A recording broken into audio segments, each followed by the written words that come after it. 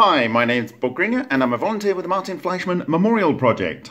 So, this is Hutchison effect, magneto-toro electrogravitic field interference driven transmutation patterns on MFMP fracture sample. Whew, what a mouthful. Okay, uh, we're going to be talking about this sample. Uh, this is a little piece of magic here, really is. As I said, uh, when I've presented this to people, they've not been able, you know, who are metallurgists or people that know how to make things with metal, uh, no one's been able to say how they could make this, and that's just looking at it uh, on the macro scale. But when you see what I'm about to show you, uh, you are going to be absolutely dumbfounded as to how this was engineered in anything other than something really, really special. Okay, so why have I said gravitic here? I've said gravitic here um, for a number of reasons. Uh, one is I'm kind of fed up with uh, every time I'm talking about low energy nuclear reactions uh, and uh, saying, you know, it's a really interesting phenomena. People worried that I'm going to speak about anti gravity don't let me speak at a conference, or uh, other people will say, oh, uh, you know, you don't talk about gravity, it causes discredit to the community. And it's like, um, uh, I haven't been talking about gravity, so what are you going on about? Uh, well, anyway, um, you know, it kind of makes you think there might be something to gravity being related to low energy nuclear reactions and uh, so forth. Anyway, so um, uh, I've got a link here, and it's to um, uh, a article uh, or a series of disclosures from of the interaction between um, Boyd Bushman and a claimant in Prague who claimed to have, uh, you know, decrypted some old Sanskrit uh, and come up with some way to do anti gravity. And uh, so th- they were trying to arrange a meeting to go and uh, check this guy's technology out. But actually, uh, Boyd Bushman. Um, uh, did describe uh, something in one of his videos at one point where he took two uh, very strong magnets like these ND52s. He put them on a brass uh, um, uh, bolt. Uh, this is actually stainless steel, and, and he pushed them together uh, right the way so that you know. So if I go like this, you can see this is very strong. That's just pushing itself open. Um, it's really strong. Um, but basically, he held them together like so with a brass bolt and put the nut on the end here, so they were forced together, and then put the whole assembly in a I think it was a metal sphere, but a sphere anyway, um, and then made another sphere of a similar weight, uh, or the same weight, and then dropped it from, I think I recall it was something like 40 feet, and had a load of students assess which one dropped at the same time arrived at the ground uh, you know, first or last or whatever. And apparently, every single time, uh, the one that had the two uh, strong magnets bound together like this, uh, they arrived later, and that breaks laws, doesn't it? Anyway, um, you know, I, I have thought, w- w- was he dropping these by the side of a metal sided building and, and maybe it was delaying it that way? But anyway, uh, that being said, uh, that's gravity. And there's a nice segue to the image that I have over here on the right. And uh, this is yet another image from a large tapestry uh, that was uh, I, I, purchased in 2001. Uh, and this is from the north uh, western desert tribes of uh, India. And at this time, they didn't have any roads. They lived a nomadic life and they had their own language and they passed on their culture uh, from their past times uh, through their um, uh, fabric work. And so uh, I thought this was uh, very appro- appropriate to put this part of the tapestry on there at this point. Now, it's not just uh, uh, Boyd Bushman that's talking about this. We have the US Navy coming out uh, uh, under a person called Salvatore Pais, uh, talking about superconductivity, uh, high frequency gravity wave generators, um, and effectively fusion technology, and, and basically saying all these patents are um, connected. Well, uh, I want to talk about uh, what Martin Fleischmann said, since this is the Martin Fleischmann Memorial Project, uh, in 1996 in an interview in Infinite Energy magazine uh, with Christopher P. Tinsley. And I will just read the whole segment here. I will say that some of this gravity modification stuff does, in fact, appear to have a theoretical basis, as well as some experimental evidence. And then Mr. Fleischmann says, Professor Fleischmann says, well, if you think about gravitation until we have a unified field theory, then you can't be sure what's going to happen. Uh, uh, Tinsley asks, even Frank Close said that we don't know much about gravity and anything might happen. Uh, Mr. Fleischmann said, we really have an incomplete understanding.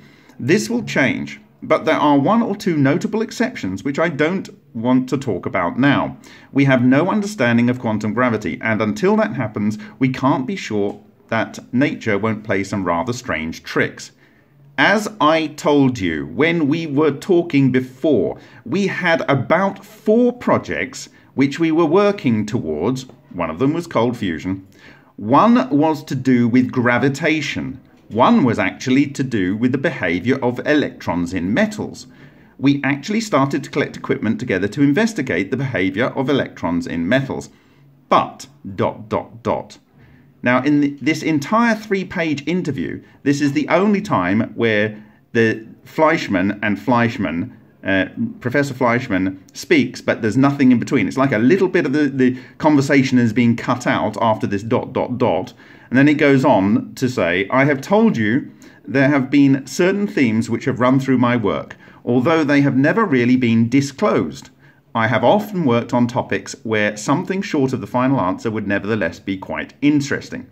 So, you have the US Navy putting out this uh, uh, uh, patent or series of patents which are, uh, it says in the patents are all related. One uh, is talking about high frequency gravity wave generators, uh, another one is uh, about superconductivity, and another one is talking about fusion. This does look like that, that uh, Martin Fleischmann may have been working on a similar family of things. And may, might this explain that whenever I'm talking about certain subjects, someone pops up with an, uh, you know, a pseudonym uh, hiding behind a, a, a, non-real name, saying, "Don't talk about gravity; it will bring disrepute to, disrepute to the field." Okay, so anyway, let's leave that there, and I want to go on and talk about um, uh, Alexander Shishkin here. Uh, and Shishkin made a wonderful presentation uh, at uh, Sochi in 2018, October 2018. I've just taken a couple of slides from that, but all the links, as always, will be in the description to this video, and this PDF with the links uh, embedded into it will be there. That goes for the uh, link to the interview here and to the Boyd Bushman article here. Okay, so um, it's joining a couple of things together. Firstly, uh, he is saying that uh, Charles Glover Barkla, the guy that won the Nobel Prize for discovering characteristic X rays, and this is how we can tell what element is what element when we're analyzing a sample. At the same time, he found this thing that he called J radiation. He said it was J radiation because it was more powerful than KLNM uh, radiations that come from the, the, the, various shells of electrons in, in uh, an atom. Uh, so J radiation, uh, and uh, in fact, in this same interview here, um, uh, Martin Fleischmann talks about the fact that um, they've observed 130 uh, keV plus photons, without referring to the fact that Charles Barkla had discovered this in the early 1910s. Uh, anyway, Charles uh, Barkla, uh, he actually spent the rest of his life, 28 years, trying to work out what this J radiation is. Well, Alexander Shishkin is saying that J radiation is magneto-toroelectrical radiation. Okay, magneto-toroelectrical radiation. That's a torus uh, that has high magnetic moment and it has electrons involved. And uh, he, he, uh, all I'm doing is I'm adding gravitic to that because if the US Navy thinks it's good, if Martin Fleischmann thinks it's good, and uh, as you'll see, there's other aspects that I, I, will come on to after I've talked about Alexander Shishkin. Um, uh, you know, I, I think it's fair game. Now, at the bottom here, Alexander Shishkin uh, goes uh, to expand the fact that uh, essentially what he's calling magnetotoroelectrical radiation is a form of charge cluster. And he gives credit to Ken Shoulders for establishing the parameters of that and what happens when they break up. So he says during an explosion of such a soliton, uh, a significant part of the electrons acquire kinetic energy of up to 6 to 10 keV. Therefore, characteristic mechanical damage of the film in the form of umbrella and or birdie appears at the site of the explosion. So he's referring to this thing, and these are X rays. I'm going to talk about this and other up and coming presentations and my interpretation of what we are seeing here. But this is an extremely important finding, and quite separately, uh, other than the team of Shishkin, who has been working on this for over practically a decade now at uh, Dubna, Science City in, in uh, Russia. Uh, there is a group at uh, the uh, Moscow Physics University, uh, Nuclear Physics University, uh, uh, under uh, Bogdanovich. And he has also observed these birdies. So um, this is not a one off uh, occurrence. So there's a link to this particular uh, presentation that shows the risk of the type of radiation that can come out from this technology. So the next person I want to talk about is. Takaaki Matsumoto, and this person will tie all of these concepts together. Takaaki Matsumoto uh, uh, also observed these uh, string vortex solitons. Uh, here is one that's impacted on some uh, um, uh, radiographic emulsion. And I, have got a link there, and you can go and see this article. Anyway, this guy was absolutely inspired, and I, I just want to focus the next part of the presentation on him and why what he found was very important. So, first off, he previously researched options for treating high level radioactive waste, and this was published uh, March 1987. So if I go here, uh, this is the article. Uh, as I say, the, the link that I give you here will be to the freely available Google uh, scan of this. And so this is in 1987, and he's saying nuclear incineration method is a method of converting the long life uh, radioactive nuclides in waste to short life or stable nuclides. Now, you can read this in your own time, but essentially, um, Japan does not have its own hydrocarbon or nuclear uh, uh, sort of resources in the way that other countries do, and it can't chop down its forests because they hold its mountains together. Uh, and so um, they need a lot of energy. It's a large population in a small landmass. And so they went with nuclear. And this is interesting. Obviously, they, they suffered the, the attacks at the end of the Second World War. Um, uh, but they, they went with nuclear in a big way. And of course, then it's a, of great interest to them uh, how to solve the problem of uh, remediation of nuclear waste. So this was his position prior to the announcement of uh, cold fusion by Martin Fleischmann uh, and Stanley Pons. After starting experiments in 1989 into cold fusion, he had established by 1993 that gravity driven collapse of nucleons and fusion was possible using electron nucleon clusters. And I have his book here. Uh, and it says right there on the front cover, it's got a picture on the front and back, and it's just effectively a wrapped round picture here. And right here, you can see here, Miniban, gravity decay of quad neutron discovered on August the 25th, 1990, in nuclear emulsion during cold fusion. You can't get clearer than connecting gravity uh, to cold fusion than you see here. So perhaps this is why I get these anonymous people popping up and saying, you can't talk about gravity, it's going to bring disrepute, dis- disrepute. And uh, th- this is all in uh, uh, Japanese, but I will say that you can get all these papers uh, in fusion technology uh, in English. And uh, there's a couple of here that he's pointing out. Uh, so, observations of quad neutrons and gravity decay during cold fusion. Uh, and then down here, observation of gravity decays of multiple neutron nuclei uh, during cold fusion, so forth. So, uh, th- there we have it. and so, expanding on that, um, I want to take you back here. So, there's a note here. Uh, so in, in 1993, I'm, I'm going to read these because I think they're very, very important. Um, so this uh, is in November 1993, and he's talking about uh, uh comments to his uh, uh, experiment. He says, in Ref 1, Fox writes that strange traces that I observed during my experiments of one point cold fusion correspond to electron beads, EVs and that and unless he is mistaken, he congratulates me on the rediscovery of high density charge clusters or EVs.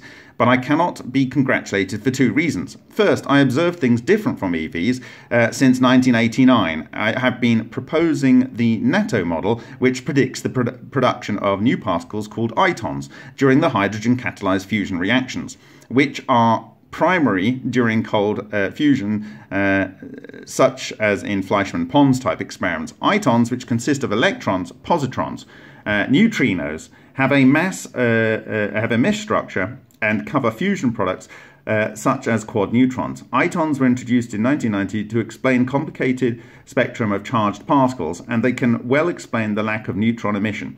Itons are completely different from charged clusters of, uh, of electrons only, EVs. Furthermore, when cold fusion takes place, hydrogen clusters are formed and they are covered by the itons. Thus, many hydrogen atoms are inside itons.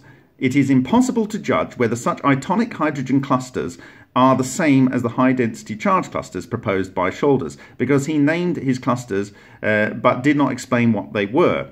Fox asked me to write about EVs for Fusion Facts, but I had no information about EVs except an article from the newsletter, so I asked Fox to send me Shoulders documents. Later, I received the documents from Ed Lewis. Second, Shoulders states in his patents that energy is extracted from the zero point energy of the vacuum. If this is true, his discoveries are superior to mine. This is because, according to the NATTOH model, energy comes from hydrogen catalyzed fusion reactions and uh, gravity decay of nuclear, uh, neutron nuclei. Uh, hydrogen is the fuel for the former, and hydrogen atoms the host metal. Uh, and the um, uh, and, and the, the electrolytes are the fuels for the latter. Uh, both phenomena consume resources of the Earth. On the other hand, zero point energy comes from the vacuum. I observe the uh, evaporation of tiny black holes during uh, cold fusion experiments. They can realize the zero point energy of the vacuum, but a black hole evaporates by absorbing particles with negative energy. This means that the energy actually comes from the mass of the black hole. This cannot be said to be a zero point energy of the vacuum. Zero point energy is better uh, energy resource than gravitation, gravitational energy. It cannot be denied yet uh, that zero point energy might be involved in cold fusion. I would like to search for that kind of energy during electrolysis experiments. If this is successful, I can be congratulated by uh, Fox. Now, this is a typical sort of uh, uh, way of addressing things uh, by Takaaki Matsumoto as a Japanese person uh, and, uh, you know, self-deprecating and so on. But um, I note that the person that's looking at this is just calling this a denial. So, um, but it, essentially, uh, exotic vacuum objects, sorry, electrum validum at this point weren't, weren't very well defined uh, uh, at, at, this point in 1993. Um, you know, later he called them um, you know uh, exotic vacuum objects because they actually have all of these different things that Takaaki Matsumoto is talking about in here. So uh, maybe I'm, i moved the camera here. No, I moved. Did I move this? Did, I hope I hope you saw that. Okay. Anyway, you can download this in your own time. Okay, and then uh, I have a note here at the end here because what happened uh, is that uh, between this um, uh, being said and uh, him trying to publish more articles in fusion technology, um, they changed the rules. And so, uh, actually, uh, Matsumoto in 94 wrote to uh, Fusion Technology, uh, it, and it was published in the December 1994 issue, in the typical polite way that a Japanese person would do when they're trying to get a point across. two proposals concerning cold fusion, and I think this again is well worth reading right now. I would like to make two proposals con concerning cold fusion. The first is related to the criteria in which cold fusion papers are submitted to fusion technology. Uh, it should be, uh, should be reviewed for publication. First, I would like to summarise some points about the history of cold fusion debate.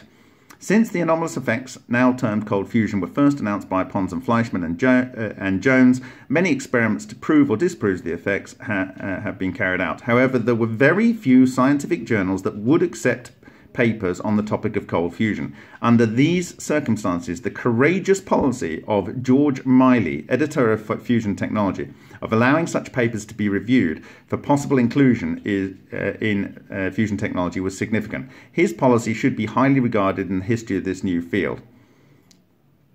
Uh, and essentially, he argues here that th there was nothing to compare anything against. So, how could you come up with uh, uh, any uh, peer review. And often, actually, in the early papers of Takaaki Matsumoto, he would refer to himself because he was the only person that was actually bothering to look at these phenomena that he was seeing. Um, uh, now, down here he says, at, at, the Maui Cold Fusion Conference, I presented the observation of tiny ball lightning phenomena in some cold fusion experiments. In nature, ball lightning does, uh, seems to occur frequently, although I have never personally observed this phenomena. Um, one attendee at the Maui conference told me uh, that he had seen it in his youth. Extraordinary phenomena associated with ball lightning have not been fully understood, since, in my view, some type of cold fusion is involved in the production of tiny ball lightning. It is not surprising that this extraordinary phenomena has not been explained by conventional theories. We should be ready to confront such confusion. If we continue to reject frank discussions and proposed theories without testing or trying to improve them, we will never be able to fully understand or explain the mechanism known as cold fusion. The first proposal that I would like to make is a return to the initial criteria for publication in fusion technology of, the, uh, of extraordinary phenomena related to cold fusion. Of course, the conventional measurements such as heat, neutron emission, and product, production of tritium and helium now have extensive experimental database and should undergo the normal rigorous review. However, other aspects, ball lightning being an example, are still in the very preliminary stages of investigation. I believe that in the interest of allowing dissemination of new results, results, the earlier criteria for evaluating these papers should once again be used, and these papers should be published as technical notes in cold on cold fusion. Thus, I propose that FT fusion technology utilize these dual criteria until all aspects of cold fusion are cleared up. What he's basically saying here is I'm trying to submit to you papers and under the same basis that you allowed them to be published in the past. But now you're finding neutrons and, and tritium and helium, uh, you're only allowing papers that have found these things or excess heat, whereas I'm finding all kinds of other things during my cold fusion experiments, and you're not allowing the papers to be published. And in, in, in fact, you can't find papers uh, uh, after this period uh, uh published, uh, if I'm right in saying this, and, and I would like someone to try and find if there were. I think it was after 1904 or 95, there was no more papers of uh, Takaaki Matsumoto published in fusion technology.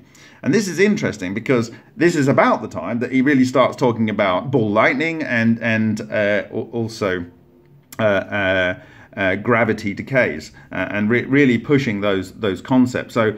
Um, this is concerning. The other, the other thing is, is he's proposing here at the end there, which is beautiful. He would have been perfect in the MFMP. I really like uh, his uh, um, phenomenological approach to uh, LENR. Um, and he's he's saying that you know it would be really nice if other people paid attention to what was going on uh, in terms of the strike marks and things that you find in nuclear emulsions. And he's saying that this may be because nuclear emulsion techniques are unfamiliar to chemists and fusion scientists, although they are popular with nuclear physicists. So he's basically saying, look, if you do what I'm doing, you're going to find these things. Please, let's let's join together and, and, and try and categorize these things. And, and I think this is al- almost a desperate plea because, like, everyone's found these heat, neutron emission, and so they're allowing these papers to be published uh, if he's the only person out there finding all of these other things, then there's no other peers, is there? So, like, he needs some peers to be able to be back in in the publishing game in, in fusion technology. So, I think that's really important to note at this point. Then, in April 2001, he actually presented at the OECD Nuclear Energy Authority on the how the process behind LENR could be used for advanced nuclear reactors which relied on the process wholly or in part. So I don't actually have the uh, uh, the whole paper here. Um, so it's it's actually here. So I don't I don't have the paper, but I have the abstract, and you can uh, the link that I give you will be to the OECD's uh, NEA website where this is there. And again, it is worth reading this because it's so significant basically, for nearly 20 years, the, the International Nuclear Authority has been aware, or should have been aware, of the possibility of uh, at least Takaaki Matsumoto's interpretation of uh, uh, low energy nuclear reactions. So, advanced reactors with application of electronuclear uh, reactions. Recently, a special state of atomic cluster called atomic cluster or micro ball lightning was discovered during experiments of electrolysis or underwater spark discharges. A new kind of uh, nuclear reaction called electronuclear reactions, ENRs, included, including nuclear collapse, uh, electronuclear collapse, could occur in the clusters. Since ENRs emitted few hazardous radiations, uh, such as energetic neutrons or gamma rays, ENRs occurred very safely. Uh, furthermore, it was suggested that ENC could electron nuclear collapse could be induced by fission reactions products uh, with a high irradiation dose of neutrons. Those properties of ENRs were potential to make conventional fission reactors significantly safer, as well as to build an in- innovative electronuclear uh, reactors. Here are two proposals. Uh, here, two proposals will be made as applications of ENRs to nuclear systems. The following uh, subjects will be described. Principles of ENR will be summarized by showing evidence obtained during USD experiments. Uh, an innovative light water reactor will be proposed, which could hold a low in core inventory of radioactive materials. Here, electronuclear uh, reactions uh, induced by fission products could be applied. And then an innovative electronuclear reaction will be proposed in which electronuclear collapse I can, it's about like kind of fusion, isn't it? But it's actually a lot of things at the same time. Could be directly employed for energy production. And so he actually handed out books to the uh, people at uh, the uh, uh Nuclear uh, uh, Energy Authority and so forth. Anyway, the, the last one uh, that I want to draw attention to is in a letter to uh, Fusion Science and Technology. In this, he conceded that the process he had researched was essentially that of Ken Shoulders EVOs. So remember, in 1993, he denied it was the same, but he, th- there was less information from both parties. Um, uh, and then he additionally said that he understood it to be a many nucleon effect, not just a few um, uh, uh, neutrons. So I actually have that here, and so I will read the sections of that which are key. Uh, so he's responding to Ed Lewis. Evidence of micrometer, uh, he's commenting on this article, uh, evidence of micrometer sized plasmoid emission during electrolysis and cold fusion. Recently, we have observed an increasing number of researchers who began to recognize the important role uh, of small sized uh, charged clusters. I'm gonna I'm gonna zoom into this. It's easier for you to read. Uh, that could be generated during cold fusion CF related experiments. The curious clusters were a key point to understanding various extraordinary phenomena observed during the experiments an excess heat production, nuclear transmutation, and ball lightning like phenomena. New kinds of nuclear rea- reaction could take place within charged clusters. As Ed Lewis described in his letter, three models were proposed for the curious charge clusters so far plasmoids by Lewis. Uh, and plasmoids is, is a name that was given uh, uh, uh by uh, researchers uh, Nardi and Bostick, and Bostick initially in the 1950s that I talked about in the previous uh, presentation. Electron beads by Kenneth Shoulders et al., and itonic clusters by Takaaki Matsumoto. Uh, Lewis pointed out the similarity between plasmoids observed in plasma focused discharge experiments by Nardi et al. Uh, and traces that were obtained from nuclear emulsions during my electrolysis uh, cold fusion experiment. I appreciate him for having carefully watched my data. Shoulder Shoulders et al. proposed a model of electron beads by performing a discharge experiment. I proposed a model of special clusters, the NATTOH model, as soon as cold fusion was published and developed it by performing experiments of electrolysis and underwater spark discharges. Probably, we discussed similar objects with different terms having different contents. According to the NATTOH model, a special state of clusters called itonic clusters could be effectively generated mainly on the surface of atomic uh, clusters. So, aton- itonic clusters on, on the surface of, of, atomic clusters when many electrons uh, were charged. Here, many electrons were assumed to be interconnected. Bonding of those electrons could be so strong that the clusters were violently compressed Several kinds of nuclear reaction could take place within the itonic clusters. The most significant reactions were was nuclear collapse. So this is packing things into a very small box. which induced an explosion and during which mesh-like networks of interconnected electrons could be broken up. My three ring traces were pro- products uh, of those simultaneous explosions. Here I have to apologize to readers for an insufficient assignment made in Ref 5 that quad neutrons collapsed collapsed. It was made clear by later experiments that clusters that collapsed were atomic clusters that could have the, a diameter of hundreds of micrometers, hundreds of micrometers, and involved much more nuclei. We are observing this across a wide, wide range of experimental data from independent authors.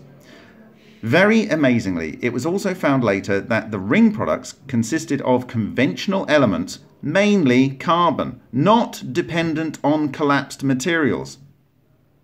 This is very, very important. Look at all the carbon we observed when we were testing uh, um, with uh, Ohmasa gas. And I will tell you right now that when uh, uh Yull Brown was testing his Brown's gas remediation of uh, cobalt 60 and americium 241, the main product, and it is cited in his patent, I believe, the main product that comes out is carbon.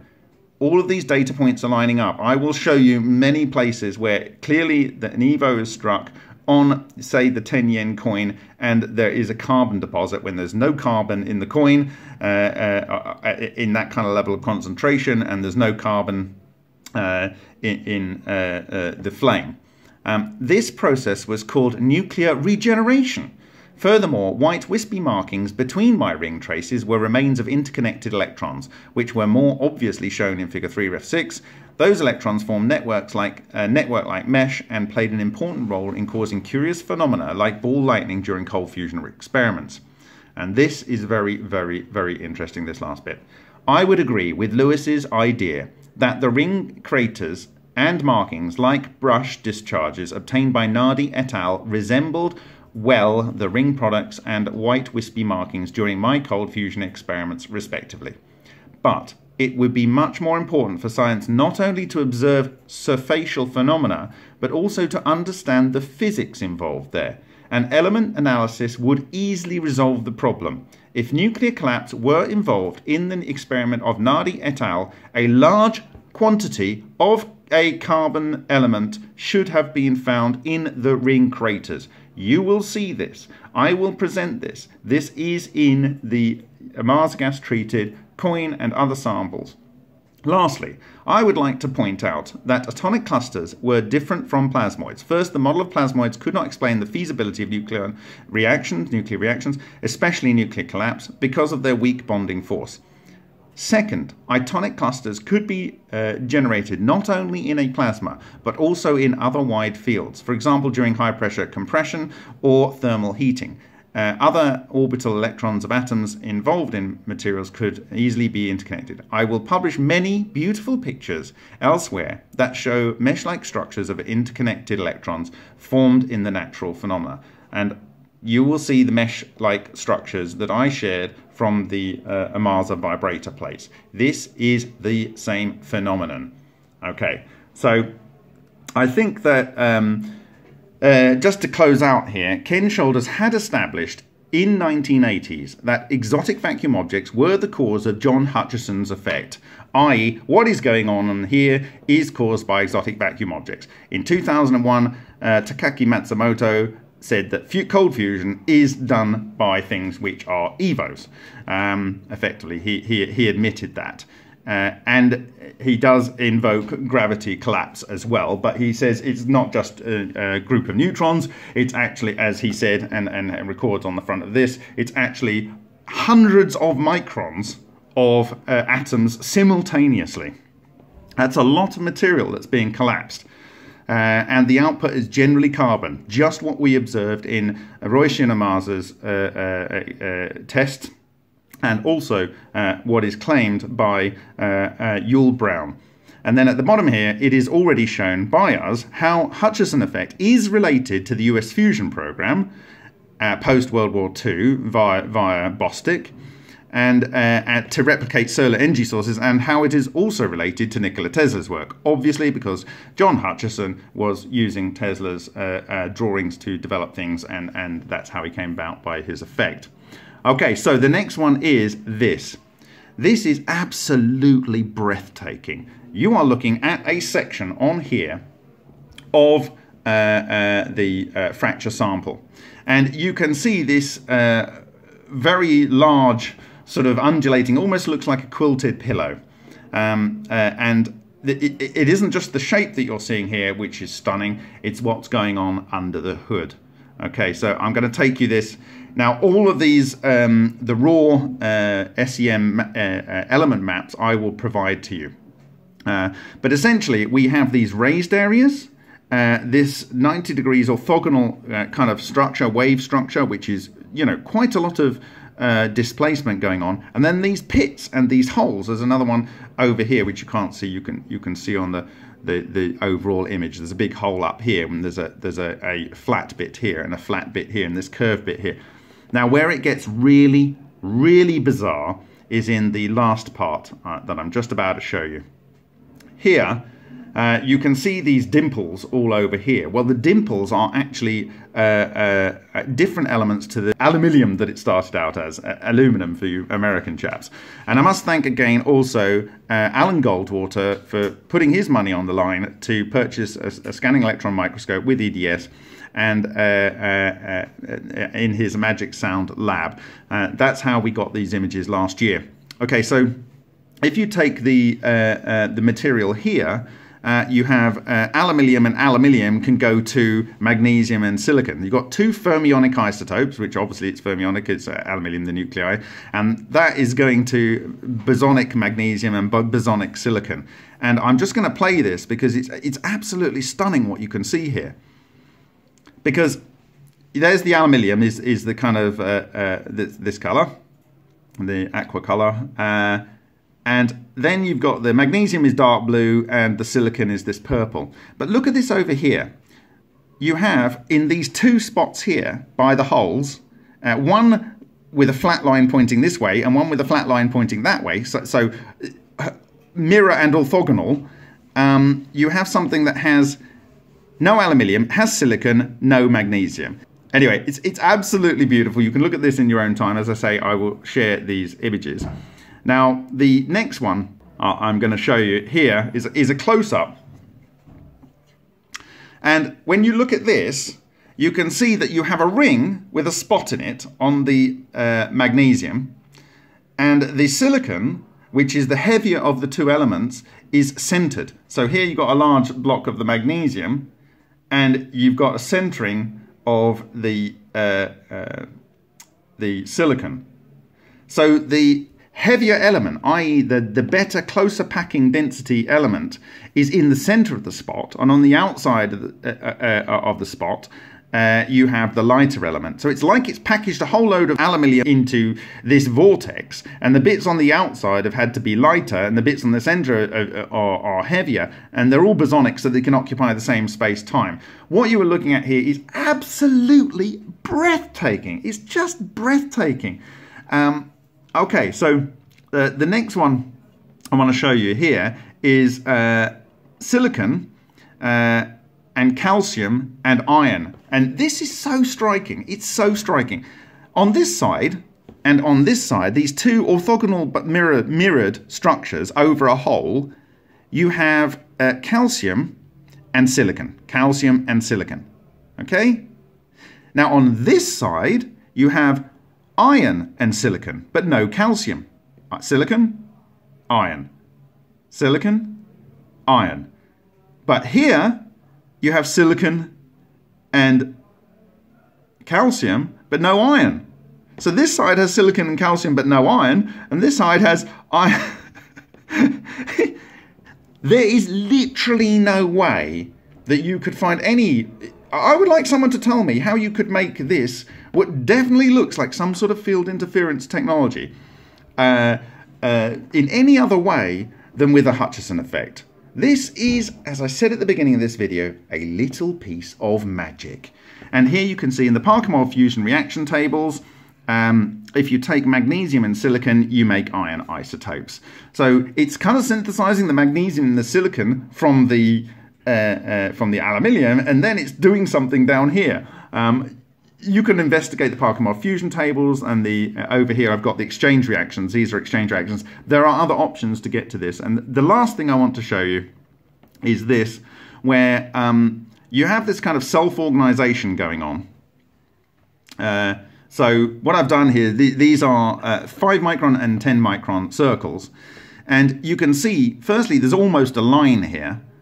There's almost a line. And there seems to be some sort of separation. They don't like to get too close together. It's like they're like likes like. It likes coming together, but then it starts to repel when it gets too close. But there definitely seems to be a line here. And actually on this line, you will see that there is these other elements stuck to the surface. So this line is running along here, and there are these large elements, and, and these tend to be carbon. And then at this point on the top on the crest, this is titanium. It's absolutely crazy. It's so amazing. This you, you can you can read into it uh, and and explore it. Like I say, the the uh, SEMs and the element maps will be shared. Okay, so then I'll just show you this one. So this is self-organization, and this one I kind of want to kind of show the the concept of uh, field interference here. So there does appear to be some lines uh, of dots, but if you look at the lower set, the magnesium is sometimes not alternately not there or less there, and there's no silicon. So it looks like the compression at that point has been less, or it's some constructive or destructive interference. Uh, I, I would like encourage you to have a look at these uh, images uh, of this part of uh, the, the Hutchison fracture sample and see what you can see. Um, uh, I will be showing you more details uh, of other areas of this uh, this this uh, uh, sample, and I can tell you, it, it, it, you could probably decode from this what frequencies were used, maybe. Um, are these exotic vacuum objects that are arranging themselves over the surface that it looked like on other areas where you could actually see the hexagonal uh, structures and, and the larger ones? What is going on? Whatever's going on, it's not something you can do easily. Now, before I close out, I just want to say you are not going to want to miss another video on this channel. So, I think right now is a time to tell your friends and family. It is time to start coming out of the closet, uh, you know, coming out of hiding. You, if you're into cold fusion, or you're into John Hutchison, I think the evidence that I've shared over the last uh, couple of weeks, which you can easily share, they're not long videos apart from this one. Um, what is being revealed to you is hard facts of research that is being going on all over the world for the best part of 140 years. And without realizing it, people were observing aspects of the same, very same phenomenon. And so if you're interested about ways you can support this project, the first thing is like the video, go out there, share, share this video, uh, talk to people, get them interested in it, uh, and uh, engage, have a look at these, see what you can see. Can you decode the frequencies going on? Can you explain why this has uh, silicon uh, and uh, uh, calcium here, but and but no iron, and why it has uh, sil silicon and iron here, but no calcium? Can you explain that? And then why it's mirrored and rotated over here? How can you explain that? And then um, uh, it, there will be a description in the video of how you can support the project financially. And uh, that's very important because we had some experiments to test with the Brown's gas generator, and also we have a lot of Hutchison samples. And I would like to do a deep dive on these with isotopic analysis and so on, because what this is pointing to is the production of non isotopic, naturally isotopic ratios being produced. And I can tell you already that it, with the uh, testing of the coral sample in Russia, we did observe non naturally occurring isotopic ratios and quite wide non naturally occurring isotopic ratios. So thank you very much for your time. Uh, this was Hutchison effect magneto-toro-electrogravitic field interference driven transmutation patterns on the MFMP fracture sample. I'll see you in the next video.